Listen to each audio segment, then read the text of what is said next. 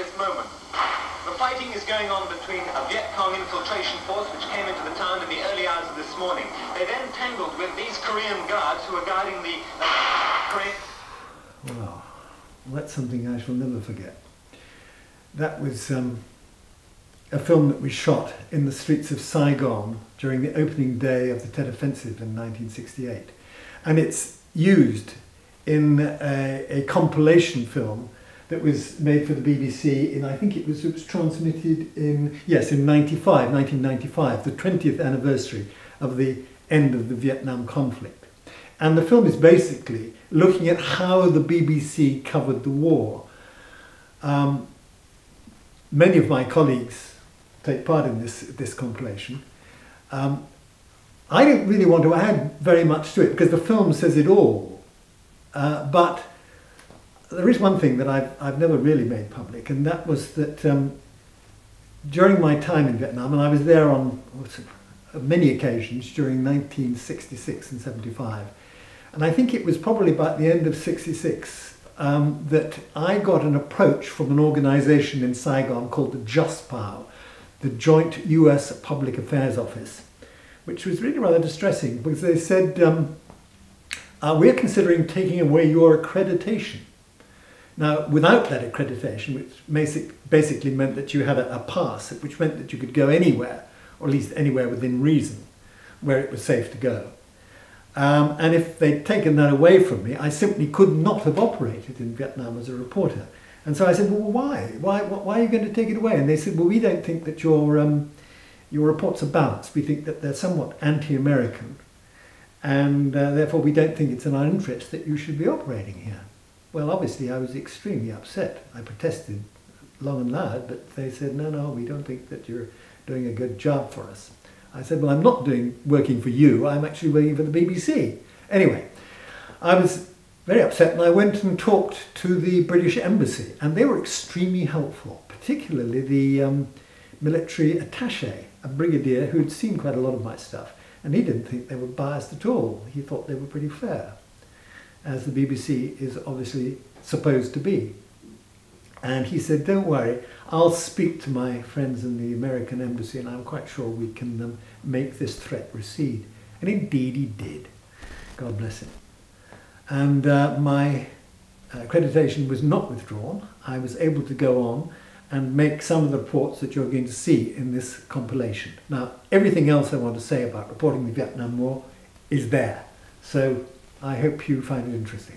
I did. There was a short firefight uh, in which three of the Viet Cong were killed. The rest of them apparently have taken refuge in a partly completed hotel.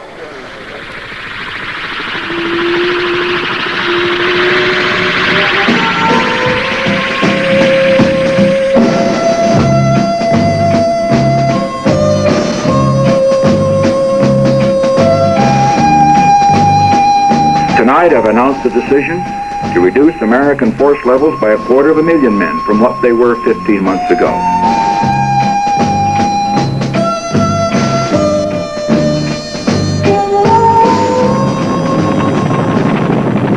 Long Binh cost nearly 50 million pounds to build, and at the height of the American military commitment.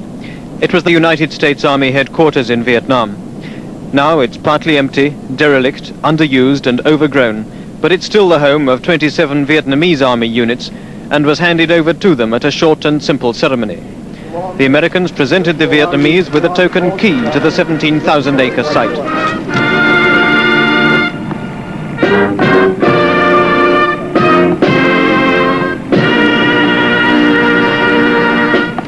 Speeches at the ceremony linked the handover of Long Binh with the hoped-for peace agreement. But peace or no peace, the Americans are getting out anyway. Vietnam's biggest military base is no longer theirs.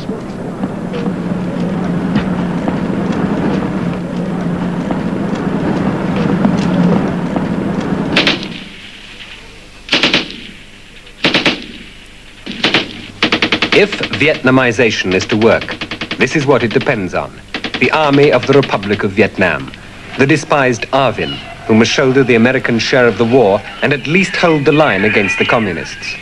A Viet Cong victory during the withdrawal period could destroy the credibility of the whole Nixon plan. What is your impression of the Vietnamese army? It's sorry. it's about all you can say, really, because uh, they don't want to work. And uh, this makes a lot of people uh, feel like, like I felt many times, like uh, they don't want to fight for it. Why should we? If some of them do lack stomach for the fight, it should surprise no one. Any male between the age of 18 and 39 is conscripted for unlimited military service. And as the Vietnamese share of the combat increases, so do their casualties, now running at four or five times the weekly American rate.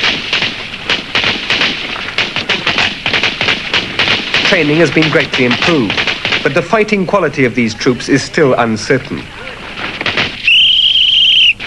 Compared with the communists, it's always been said that government forces have been poorly led and lack aggression.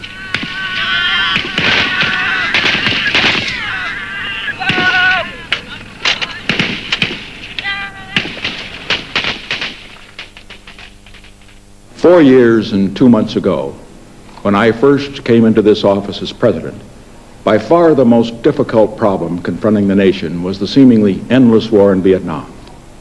550,000 Americans were in Vietnam. As many as 300 a week were being killed in action. Hundreds were held as prisoners of war in North Vietnam.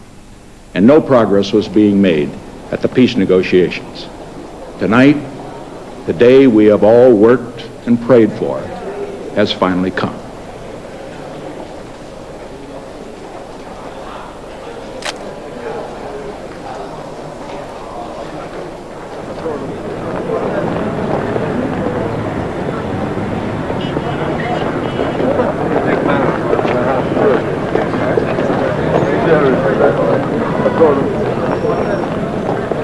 We have prevented the imposition of a communist government by force on South Vietnam.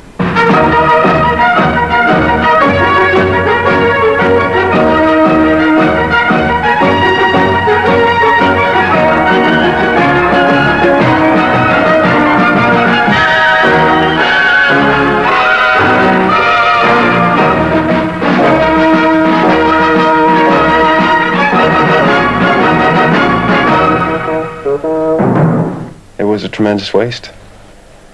The morning the peace treaty was signed, 6.30 in the morning, I was in my barracks about two blocks from Tan Son Nhut Air Base, brushing my teeth, when the first rockets hit. And the rockets landed uh, three blocks from where I was. I thought, well, we've been here 13 years, and we signed a peace. You know, peace. And in 13 years, we accomplished very little, obviously, since at the end of this time, the VC are close enough to throw rockets into the capital city of South Vietnam. So all the men that died, all the money that was spent, we accomplished nothing. Not a thing. What a waste. What a joke. What a farce.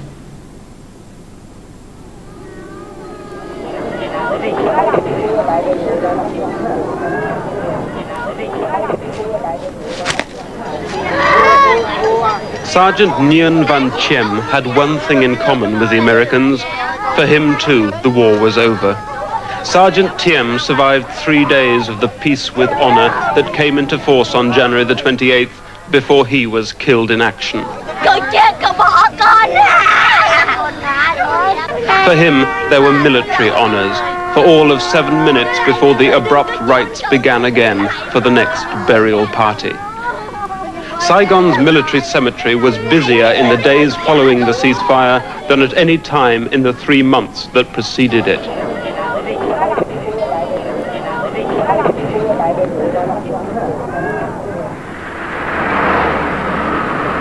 A certain discretion is called for when you set out to visit the Viet Cong.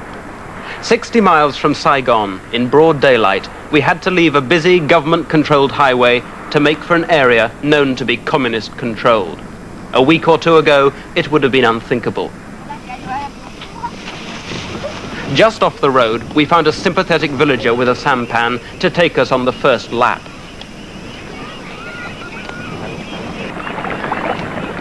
We did not go unobserved. A government soldier watched our departure and delayed two other journalists. Back on dry land, it's possible that the peasants thought we were from the International Peace Supervisory Force. But unluckily for the village we were to visit, on the day we went, the ceasefire commission in the area was still bickering about hotel accommodation. Ah, the villagers apologized for the exuberance of the children, explaining that in the past, when foreigners had come, they'd been taught to run away. The Americans had made a sweep in this hamlet two years ago, but now it was different. We met our first Viet Cong soldier, the proud owner of an M16 rifle pilfered from an American corpse. And at the next checkpoint, we came across a small unit of Viet Cong militia. They were all from the district. That's how the communists have always maintained their power in the hamlets, creating converts from within rather than imposing power from outside. After five hours, we reached the village of Bin Phu. There's not much to the village itself. The only thing to distinguish it from a thousand Mekong villages was the welcome banner on a bamboo arch, proclaiming Hail to the Peace. And even that, we suspected, may have been erected for our special benefit.